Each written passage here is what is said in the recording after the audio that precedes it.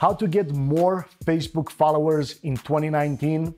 Stick around because in this video, I'm gonna show you exactly what you need to do to get your first 5,000 real fans. And I'm not talking about you buying fans and buying fake likes and other black hat stuff. So let's jump in. Once again, here we go. Know the name, flow. Turn me up a little.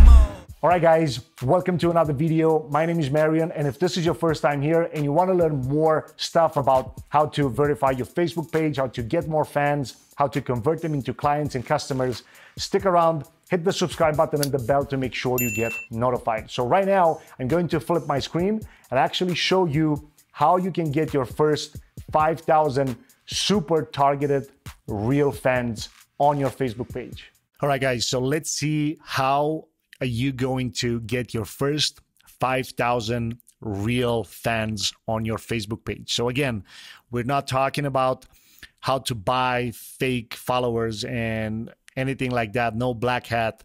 This is all white hat stuff. All right. So, it's important to understand first how are you going to achieve this, especially at the beginning stages, because, you know, when you're first starting out in this in this online game your authority and your the way that people will look at you of course have to do with a couple metrics but this process here works but it only works once. So it's important to do it right from from the first time. So in my case like right here I'll have to blur a couple things because um, it's my wife's account. The reason for that is I'm not able to do it from mine because I already did it about a year and a half ago. So again, you're only able to do it once. So make sure you follow the steps and you do it properly from the beginning. Otherwise, you may miss out. And this can really, like, this is the difference from you getting 500 fans versus 5,000 friends, right? So I'm pretty sure you get you get the point now. So what you'll be using if so this will work even if you have already a business page, you'll essentially create a brand new one and as long as they have similar names and similar categories and similar content, you'll be able to merge them and you'll tell Facebook you'll tell Facebook which one you want to keep um, moving forward. So keep that in mind, right? Now, essentially, the whole process, the whole thing that we're going to actually do is you're going to convert your profile into a Facebook page.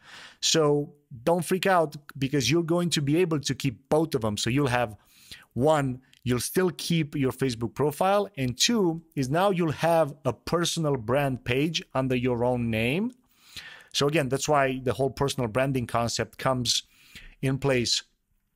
But you're also going to have a business page and that will be completely transitioning all your friends from the from your profile as fans into your uh, Facebook business page.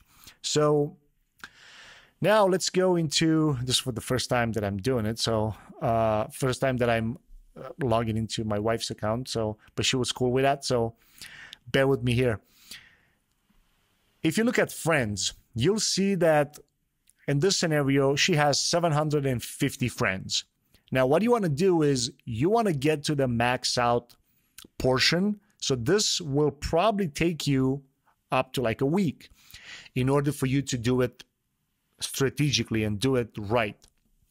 So what you want to do is you want to put together five to 10 of your biggest competitors. So let's say in this scenario, my wife she's a, a lash artist and a makeup uh, artist. She would pick five or, or 10 of her biggest competitors' pages. So, for example, let's assume I'm doing this for myself. I'm going to search for Gary Vaynerchuk and I'm going to click on his page. And right here on the page, I'm able to look the videos that got the most uh, engagement. Or you can do it per post, you can do it per um, per picture, whatever you decide to do, right? So again, you'll hope you'll have to hustle. It's funny that now we are on, on Gary Vee's page, but you'll have to hustle a little bit um, because you'll have to see which post got the most engagement. So let's say we take in this one. This one's got 288 uh, likes, 160. This one's got 587. Now, again, the reason that you want to do this with your competitors' pages, because everybody that like, share, and commented on a competitor piece of content, that can be a fan of yours. So if you would be to take one thing out of this entire training, this entire tutorial, is this. Your competitor have content that they pay for, they promote, they a bunch of things, right? If people are liking and commenting on that piece of content, it means that they really like it, they really enjoy it. So those people could be your fans, right, on your Facebook profile. But because you're now just building that page up, those people will have to become friends on your profile first. And when you convert your uh, your Facebook profile into the business page, now they're going to be transformed into your fans. Now, another thing that you can do is you can go into info and ads, and you'll be able to see what are the pages, what are the ads that Gary Vee is running. So, for example, um, you can look at all the ads that he's running.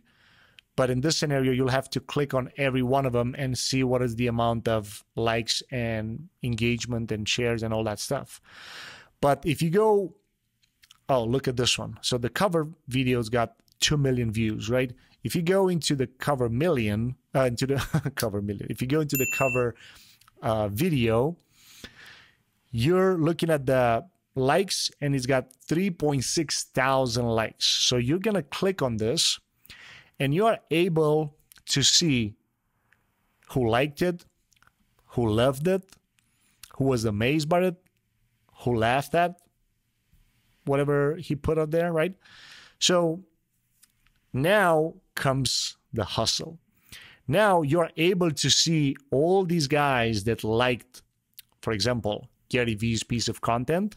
In your scenario, will be your competitor, uh, your competitor page, your competitor's uh, piece of content. So you're gonna start hitting add friend, add friend, add friend to everybody that's going to be liking and sharing this content.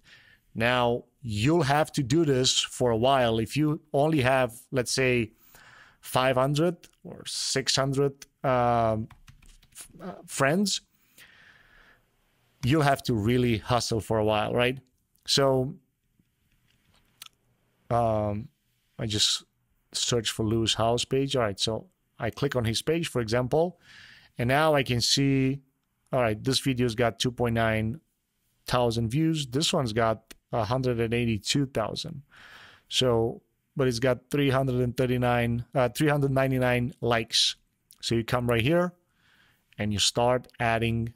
If you know for a fact that that type of content is the type of content that you're going to create for yourself on that business page that you're going to convert into, these people could be your fans. Now, again, in order for you to generate 4,000 friends, and again, this is not spammy, and of course, you'll have to somehow be connected with at least one or two people at the beginning. So it's probably going to take you a while to add thousands of people as friends because the reason behind all this is you're going to have a targeted, you know, 5,000 list of fans that are going to be on your page and be able to see your content. Of course, organic, it's just not going to happen that much.